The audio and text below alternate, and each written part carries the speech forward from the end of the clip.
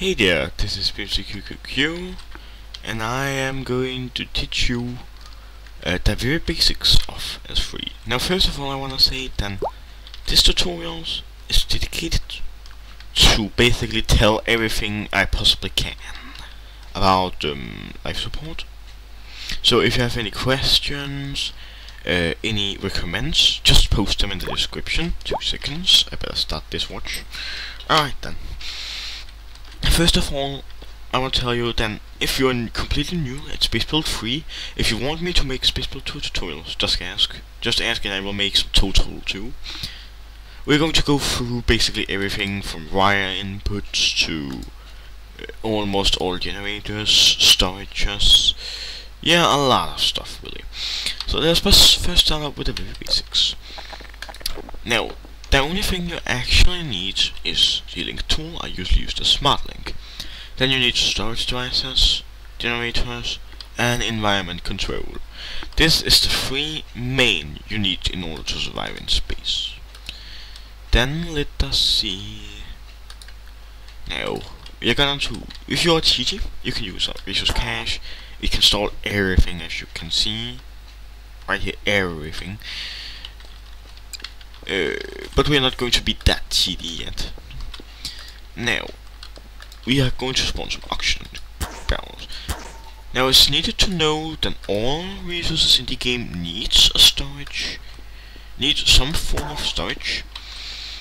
Uh, basically no resources can be used without a storage. It's really important to remember.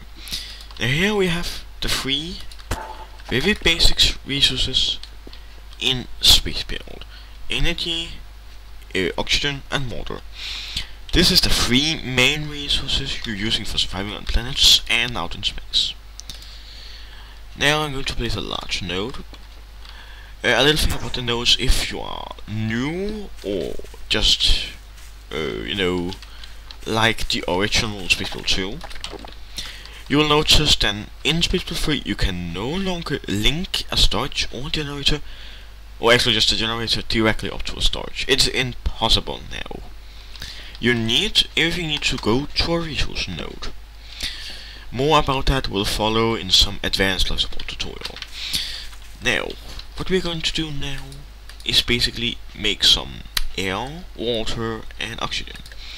Now oxygen, you of course need some oxygen compressors. For this demonstration, you're going to make one Nah, two. It's just a demonstration. On a show you can just go crazy if you want to. so, energy, there's many ways you can get energy. Solar panels, fusion reactors. Fusion reactors uh, is very different from the original game, or the original game mode, because it requires water in order to operate. And it produces steam, energy, and gives you a little water. But more on that in uh, sorry, more about that in the advanced support tutorial. Now for my case, because we're on the planet, I'm just going to use a wind generator, because they're producing a good amount of energy. I'm going to use water pump. I'm going to use this, actually I'm going to use the large one. Press 2. Now what you're going to do is there many, many, there's many, many, many ways that you can link stuff. What I usually do, click everything with the smart link tool storages, just don't node, for God's sake, don't click the node with this. Oh yeah, we actually go are going to click the node, but what you're going to do with the node is you want to right click the node. Everything will be attached. As you can see, energy goes up, and we can turn devices on. When before I turn it on, I want to say that I have a little trick that you can use what allows you to turn off the sound but the generators will still work. Just if you don't know it, most people probably already know it, but if you don't, yeah, just to help you. First of all, start all generators.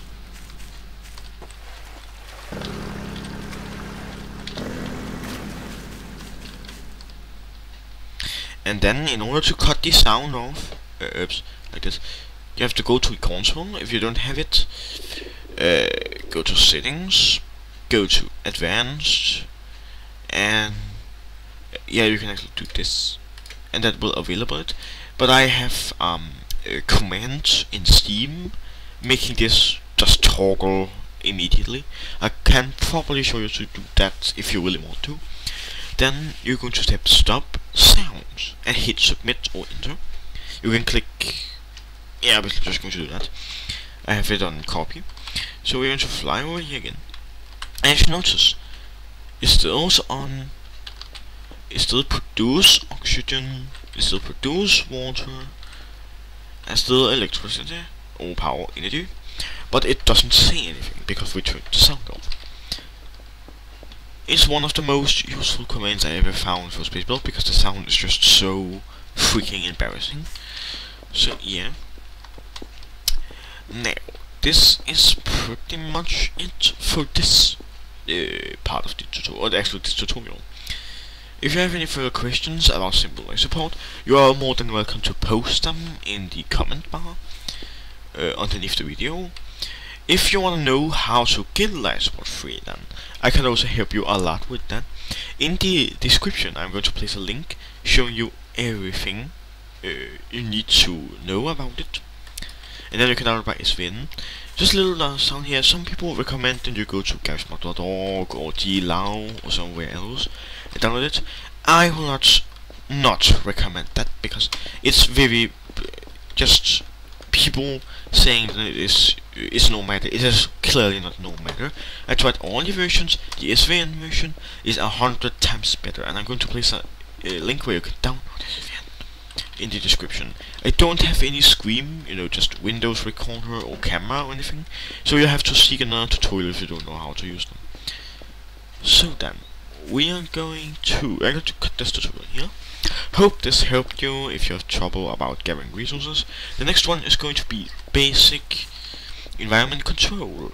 What, where I am going to tell you about how to use the life support, because of course we need to get some use for it. So, see you in the next tutorial. Bye.